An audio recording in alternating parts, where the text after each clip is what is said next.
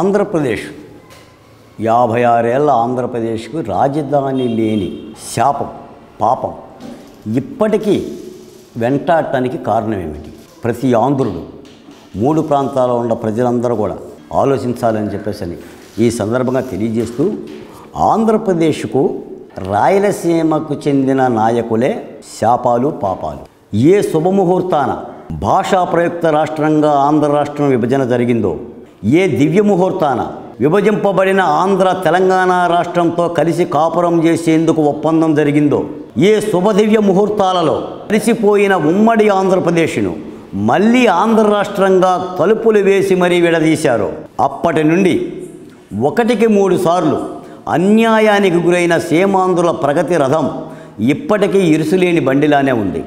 ఆరు దశాబ్దాల పైబడిన కాలగమనంలో కొన్ని రాజకీయ పార్టీల ప్రస్థానముల వయసు మినహా చెప్పుకునేందుకు ఏమీ లేని దుస్థితిలో ఆంధ్రప్రదేశ్ కోనరిల్లుతూనే ఉంది.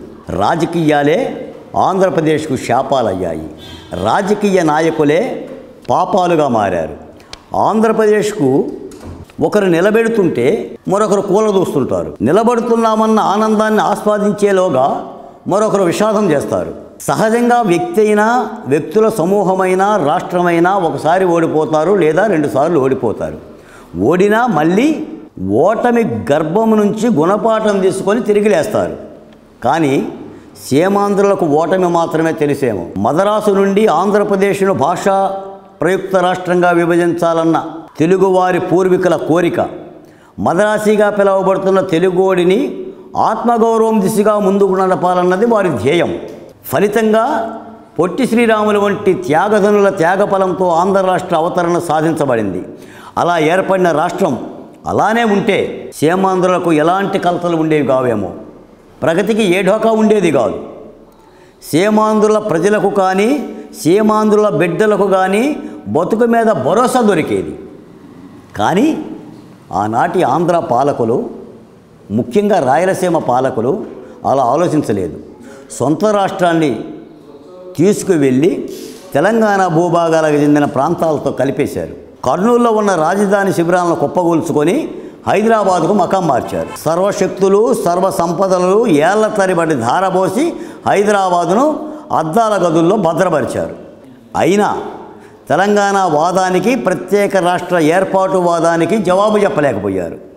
కారణాలు ఇంకెన్ని ఉన్నా ఇంకేమైనా తెలంగాణ సమాజం ముందు సీమాంధ్ర పాలకులు తెలంగాణ ద్రోహులుగా బోనెక్కారు. ఫలితంగా ఒక వ్యక్తి రాజేసిన విభజన మంటలో నాలుగు చెరకుల ప్రాకి ఉమ్మడి ఆంధ్రప్రదేశ్ నుండి ఉమ్మడి రాజధాని నుండి సీమాంధ్రులు ఉట్టి చేతులతో గంటివేయబడ్డారు. కసితో రాష్ట్రాన్ని బాగు చేసుకుందామని విభజింపబడ్డ రాష్ట్రంలో తెలుగువాడు కలలుగన్నారు.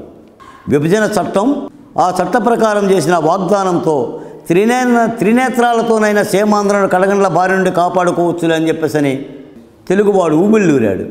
ప్రత్యేక హోదాతో రాష్ట్రంలోని మూడు ప్రాంతాల్లో పారిశ్రామిక ప్రగతి పోలవరం జాతీయ ప్రాజెక్టు నిర్మాణంతో పదమూడు జిల్లాలకు సాగునీటి సిరులు ఇరవై ఎనిమిది వేల ఎనిమిది వందల ఎనభై ఒక్క మంది రైతుల త్యాగఫలంగా ఇచ్చిన ముప్పై నాలుగు వేల మూడు వందల ఇరవై నాలుగు ఎకరాల సంపదతో రాజధాని అమరావతి శోభిలుతుందని ఎంతగానో ఆశపడ్డారు. ఆ దిశగానే మూడున్నరేళ్ళు వడివడిగా అడుగులు పడ్డాయి. కానీ ఆ మూడు విభజన వరాలు ప్రశ్నార్థకమయ్యాయి ఇప్పుడు. విభజనకు పాల్పడిన జాతీయ కాంగ్రెస్ ప్రత్యేక హోదా ఇస్తే తూచా తప్పనిసరిగా అమలు చేస్తామని. ఐదేళ్ళు కాదు పదేళ్ళు హోదా కావాలని పట్టుబట్టిన భారతీయ జనతా పార్టీ అధికారంలోకి రాగానే నీతి ఆయోగ్ను అడ్డు అడ్డు చెప్పి మాట తప్పింది. ఆంధ్రులకు ఏ తలుపులు ముయ్యకుండానే ద్రోహం చేసింది.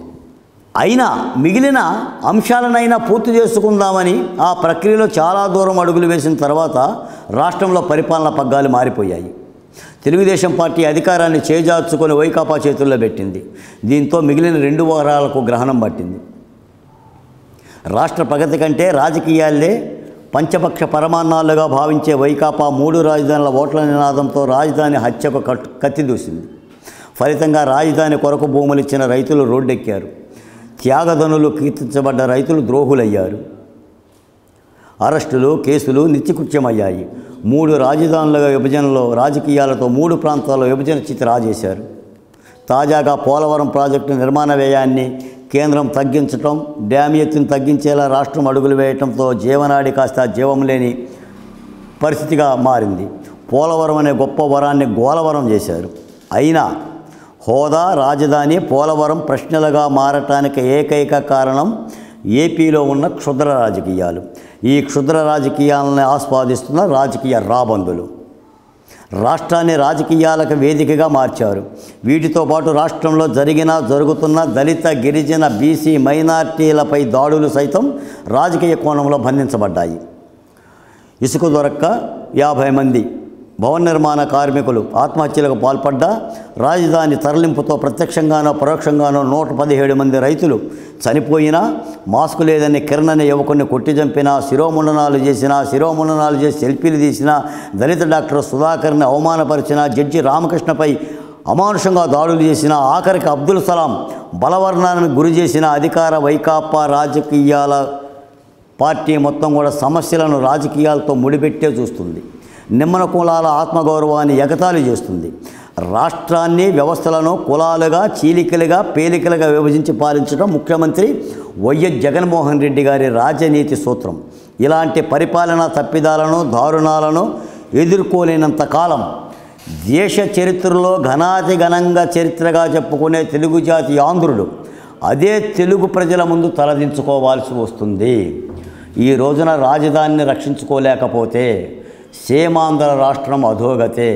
ముఖ్యంగా బడుగు బలహీన ఎస్సీ ఎస్టీ మైనార్టీ వర్గాలకు జరిగే అన్యాయం మహాఘోరం. రాష్ట్రాన్ని రెండు శిబిరాలుగా మార్చారు. రెండు రాజకీయ పార్టీలుగా రెండు కులాల సమరంగా మార్చారు. ముఖ్యమంత్రి జగన్మోహన్ రెడ్డికి ఎట్టి పరిస్థితుల్లో ఇది తగదో. ఈ రాష్ట్రానికి చాలా న్యాయం చేస్తున్నారని అన్యాయం చేస్తున్నారు. ప్రతిపక్ష పార్టీలు చాలా ధీరోదాత్తంగా పోరాడాల్సిన సమయం ఉంది. ముఖ్యమంత్రి గారు దూది పింజరలతోనే శనగారులతో విసిరితే పోరాటాలు చేస్తే వినిపినే పరిస్థితి లేదు. కాబట్టి సమరశీల పోరాటాలు ఆంధ్ర రాష్ట్రంలో జరగాలి.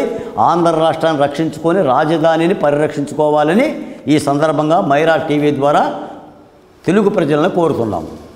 Please do subscribe Myra Media. Please subscribe Myra Media. Subscribe to Myra Media. Please like, share, and subscribe to Myra Media for lot of film news, gossips, and hot hot news. Please like, share, and subscribe to Myra Media. For more interesting updates, please subscribe to Myra Media YouTube channel. For more updates, please subscribe to Myra Media. So like, share and subscribe to Myra Media.